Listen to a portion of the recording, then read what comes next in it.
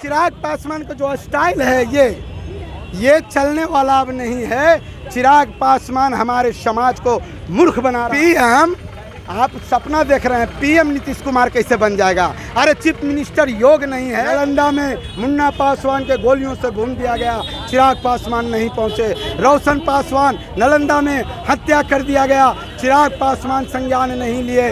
मोतिहारी में लट्टू पासवान की हत्या कर दिया गया। चिराग पासवान धरना प्रदर्शन आंदोलन नहीं। टू व्हीलर फोर व्हीलर गाड़ी पर जब चलते हैं तो ये स्टाइल करते हैं। इससे दलितों का कल्याण होने वाला नहीं है। कहावत है उम्र के साथ बुद्धि भी चला जाता है। अब नीतीश कुमार लालू यादव जैसे नेताओं को राजनीति से संन्यास ले लेना चाहिए। मुँह में पेशाब पिलाना।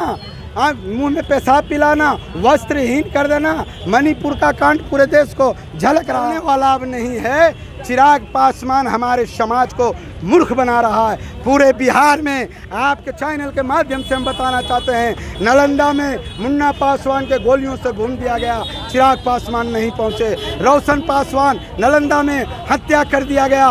चिराग पासवान संज्ञान नहीं लिए। मोतिहारी में लट्टू पासवान की हत्या कर दिया गया। चिराग पासवान धरना प्रदर्शन आंदोलन नहीं किए।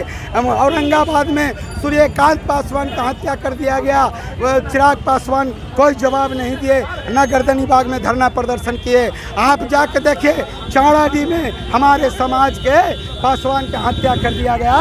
सिर्फ़ वहाँ जाके आँसू बहाते हैं और टू व्हीलर फोर व्हीलर गाड़ी पर जब चलते हैं तो ये स्टाइल करते हैं। इससे दलितों का कल्याण होने वाला नहीं है। दलितों का कल्याण? दलितों के कल्याण।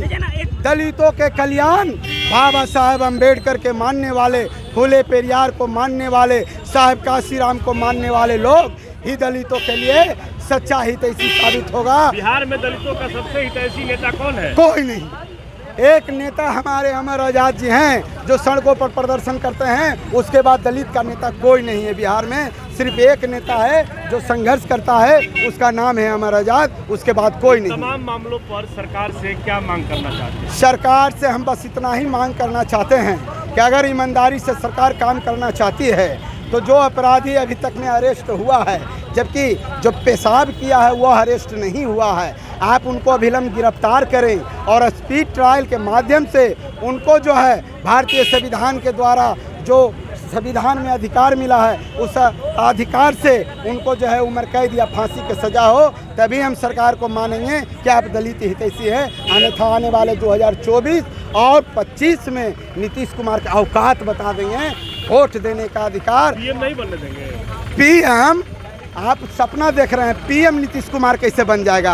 अरे चीफ मिनिस्टर योग नहीं है गलती से हम लोगों ने वोट देकर उनको अधिक उनको जो है बिहार के चीफ मिनिस्टर बनाया। हम नालंदा से बिलोंग करते हैं। जिस प्रखंड से नीतीश कुमार ने राजनीति का शुरुआत किया उस प्रखंड से हम बिलोंग करते हैं। तीन तीन बार चुनाव हारने के बाद हमको लगा कि देश के आज़ादी में इनका पिताजी का बहुत बड़ा योगदान रहा है। हम लोगों ने, हमारे पिताजी और हमारे गाँव के लोगों ने इनको एमएलए बनाया और ये अच्छा काम भी किए। लेकिन आगे जाके कहावत है, उम्र के साथ बुद्धि भी चला जाता है। अब नीतीश कुमार, लालू यादव जैसे नेताओं को राजनीति से संन्यास ले लेना चाहिए, घर में बैठ जाना चाहिए और इस देश के अम्बेडकरवादी फूले पेरियार को मानने वाले लोगों को विधानसभा में भेजना चाहिए, मौका देना चाहिए। ये लोग रिटायरमेंट के कगार पर आ गए हैं। एक एक पैर कबर में झूला हुआ है और चलते हैं विकास की बात करते हैं, सामाजिक न्याय की बात करते हैं। यही सामाजिक न्याय की बात है। पेशाब, मुँह में पेशाब पिलाना। हाँ मुँह में पेशाब पिलाना वस्त्रहीन कर देना।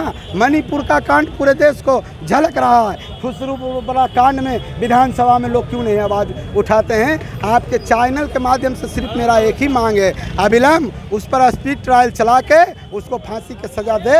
अन्यथा बहुत बड़ा आंदोलन हम लोग करेंगे बिहार में। बिहार लोग चुप नहीं रहेंगे। बिहार में बिहार में दलित सुरक्षित नहीं है क्या? बिहार में दलित अगर सुरक्षित रहता आप आप चैनल के माध्यम से पूछते हैं आप खुसरूपुर क्यों नहीं जाके पूछते हैं? अगर बिहार में दलित सुरक्षित रहता तो पंद्रह सौ रुपया के लिए उनको लात घुसा मुखा नहीं खाना पड़ता।